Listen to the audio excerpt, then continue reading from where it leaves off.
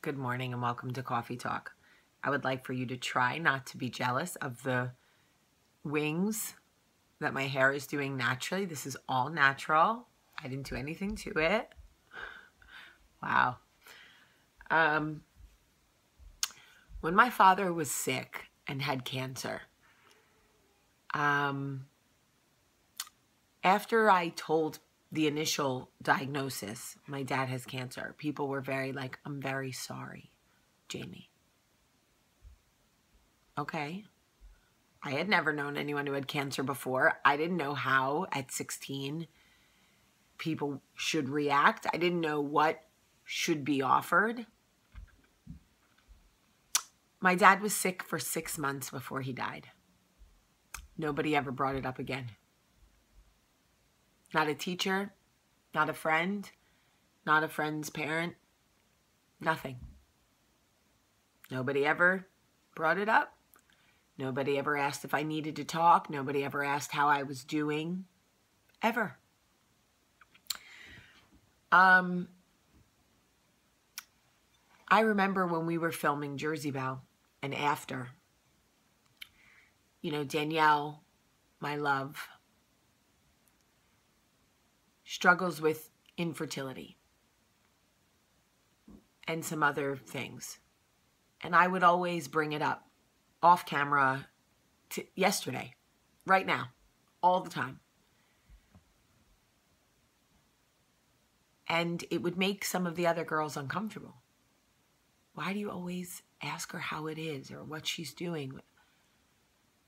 Because death, cancer, infertility, divorce, depression, all of these things are magnified by loneliness.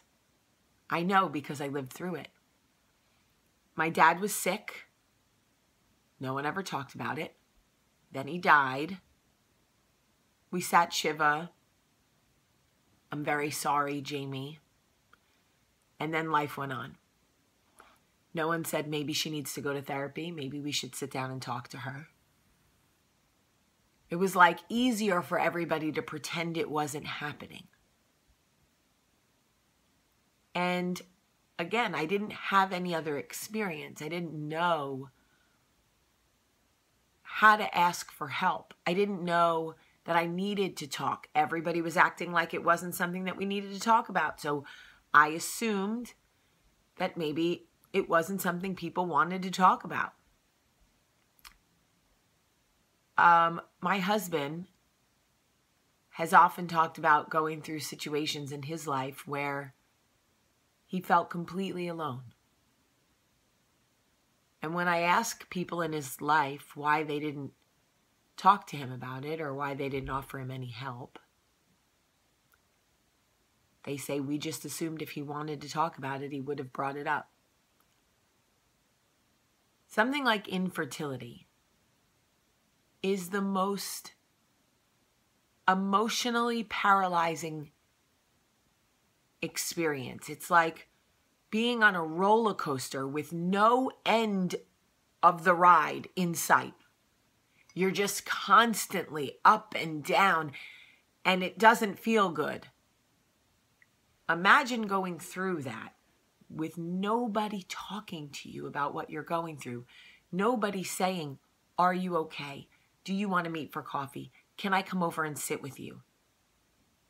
What can I do? Any situation that someone may be going through. They have a sick child, a new diagnosis. They're sick. Their parents are sick. Infertility, depression, the greatest gift you can give somebody is your ear, is your time. Just be there. Ask them if they want to talk. And if they don't want to talk, give, carve out 30 minutes, an hour of your time to take them out of what it is they're dealing with. Sure, they may seem distracted, but the effort will go so far very few people did anything for me over and above the I'm sorry, Jaime. when my father was sick and when he died. But the few tiny things that people did outside of that, I will never forget. The reason that I always check in with Danielle, always ask her how she's feeling, how she's doing, if she wants to talk, push her out of her comfort zone. When I try to talk and she tries to clam up, and I push her further to let it out, is because some people will never ask for help. They will suffer silently, thinking they don't want to put it on anyone else. They don't want to be a burden. I have a friend who has a child who was diagnosed with something right in kindergarten around five, and none of the other parents talked to her about it. None of them asked her about it. It was as if it wasn't happening. She should just not talk about it. There's a woman, a mom at our school, whose daughter died at home when she was a year old. And I say to her, I ask her about that daughter. I ask her how she's doing. And other people get so uncomfortable. Oh, she's talking about her dead daughter. I can't. It's like when I wrote the article about losing our baby, people actually said to me, "Why do you have to bring it up? Just just let it go." Well, no, I don't want to let it go. And I have let it go. But pretending it didn't happen or doesn't exist, you see this? Sadness right here? If I never talk about it, I'll explode one day. So people often ask me, what can I do for my friend? Her husband had an affair. I don't know what to do. Talk about it. Ask her how she's doing. Ask her what you can do to help. She's got cancer. Don't be scared. Go to chemo with her. Go to a doctor's appointment. Make her cards. Bake her a cake. I don't know. Something. But don't act like none of these things are happening. Infertility is real and it sucks. Cancer is real and it sucks. Baby loss is real and it sucks. Depression is real and it sucks. Just be there. Don't be the person who pretends it's not happening.